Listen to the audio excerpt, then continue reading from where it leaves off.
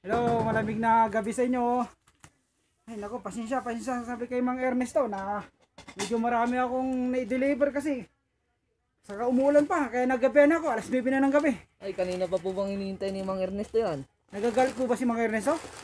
Hindi naman, kanina pa lang niya hinihintay. Nako, kasi ang dami kong diniliver, pakisabi sa kanya, taayusin ko muna yung ano niya. Plastic niya, tingnan nyo ha. Pakisabi kay Mang Ernesto, balot na balot na plastic yan, walang gas-gas yan. Tingnan mo. Yan. Ah, saan ba sa pumunta si Mang Ernesto? Nasa CR kuya. Ay sige, sige, hintayin ko na lang. Kasi baka bibigyan ako ng tip eh. Kasi tagal ko nang hindi nabibigyan ng tip. Yan. Tingnan mo ha. Walang kagas-gas-gas yan. Balot na balot na plastic to. Pakisabi ka mga Ernesto. Yan. Idudunit niya ba sa barangay to? Oo kaya. Ay ganun kasi tumawag daw doon sa pinagtatrabaho ko sa Blue Ocean Department Store, Baguio Center Mall sa second floor. Ah, in-order niyang bandang alas 10 ng umaga. Ako naman nasa labas ako kasi nag-deliver ako sa iba-ibang hotel. Ah, pumunta pa ako sa City Red Hotel. Pumunta pa ako sa Elizabeth Hotel. Pumunta pa ako sa Carong Legacy Hotel. Yan, mga customer namin yan. Banggitin ko na rin para alam mo rin, no?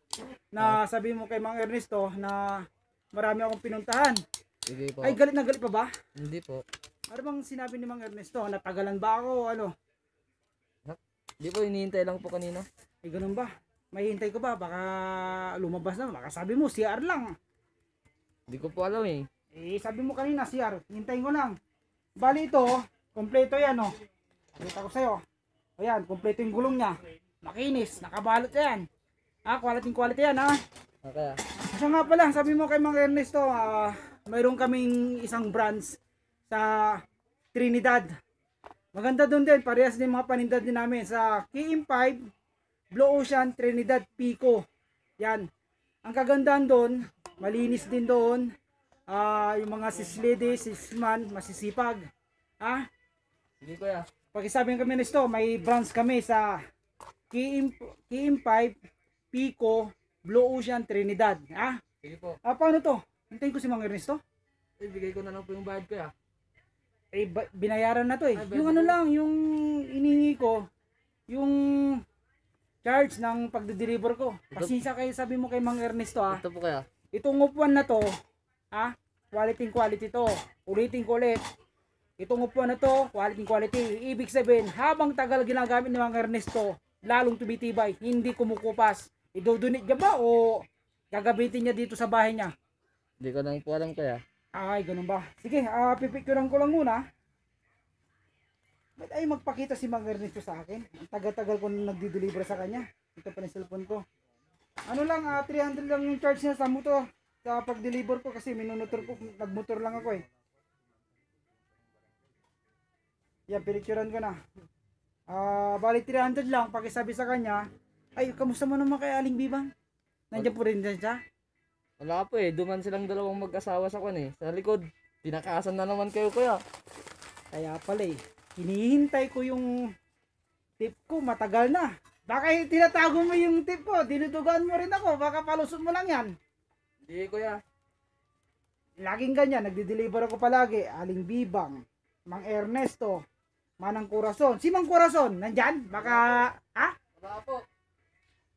Ano ba yan? Wala. Tagal ko nang nagdi-deliver sa kanya, sa kanila, dito sa bahay nila, hindi ko sila nadadaknan. Wala eh, Ang daming nagbakasyon sila palusot. kuya. Ha? Nagbakasyon sila. Nagbakasyon sabi mo kanina. Hindi, si Mang Corazon. Ay, si Mang Corazon, ay saan ba ba pumunta si Mang Corazon? Pumunta sa Pangasinan, Oh, Pangasinan kuya. Kababayan ko si Mang Corazon pala. Pangasinan din ako sa barangay. Ah, Talang, San Carlos, Pangasinan. Alam mo, ang mga lahi namin sa San Carlos, mababait yan. Masisipag, magalang. Ha? Tingnan mo naman, magalang ako. Di ba? Nakita mo?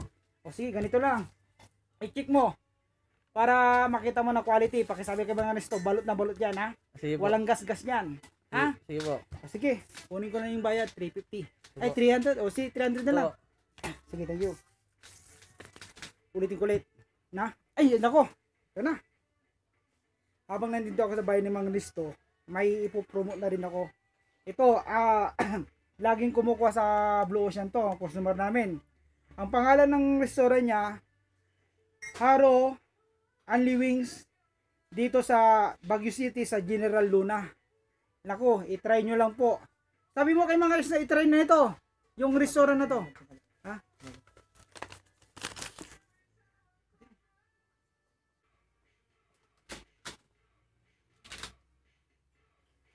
Oh. Tinawag ako ng kapitbahay nyo.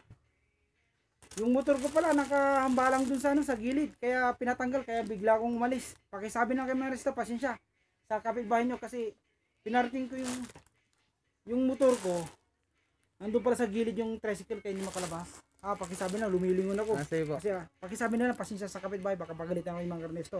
Sige po kuya. O sige, pakisabi na lang quality quality na. Walang gas-gas yan, nakabalot pa yan. O, sige, thank you. Pakisabi, malamig na gabi.